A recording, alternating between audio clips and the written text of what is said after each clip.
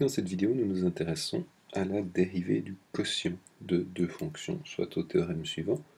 Si f et g sont deux fonctions dérivables en x, et g n'est pas nul dans un voisinage de x, donc ici nous avons les hypothèses de ce théorème, donc g de x, g n'est pas nul en x et n'est pas nul non plus dans un voisinage de x, alors la fonction f plus g, nouvelle fonction, troisième fonction que nous définissons à partir des deux premières, est aussi dérivable en x, et on a cette formule pour calculer sa dérivée. Il s'agit donc de démontrer ce théorème. Alors, nous pourrions, comme pour la dérivée de la somme, la dérivée du produit, la dérivée de l'inverse, proposer une très longue démonstration technique basée sur la définition de la dérivée, mais nous pouvons ici bénéficier du travail qui a déjà été fait. Donc nous allons supposer pour cette démonstration que nous avons déjà démontré d'autres formules de dérivation, en particulier la dérivée du produit et la dérivée de l'inverse. Donc ce qu'il s'agit de faire, c'est de démontrer comment dériver la fonction f sur g', comment dériver la fonction f sur g de x, donc comment calculer f sur g' Alors pour ceci, nous allons préparer un peu le terrain et commencer par écrire f sur g comme étant égal à f fois 1 sur g. Donc j'écris ici un produit d'une autre façon. Euh, par exemple, c'est comme si j'écrivais 7 sur 5 comme étant 7 fois 1 sur 5, sauf qu'ici j'applique cette égalité au monde des nombres, tandis qu'ici je procède de la même façon pour des fonctions, ce qu'on peut démontrer comme étant tout à fait correct. Ici j'ai donc maintenant un produit, je dois calculer la dérivée d'un produit, or je sais calculer la dérivée d'un produit. Je sais que la dérivée d'un produit de fonction est égale à la dérivée de la première fonction fois la seconde plus la première fois la dérivée de la seconde. Ceci, c'est une formule déjà démontrée.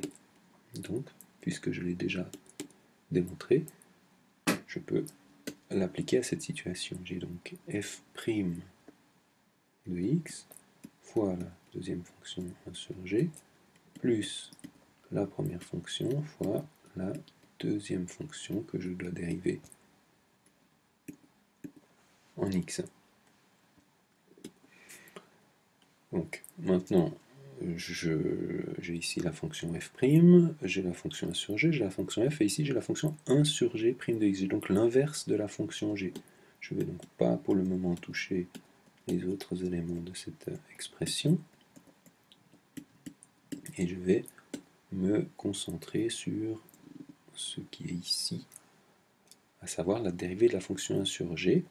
Et j'ai démontré par ailleurs que la dérivée de la fonction 1 sur g, on a démontré en fait que 1 sur f' de x était égal à moins f' de x sur f carré de x. Donc ceci c'est également déjà démontré.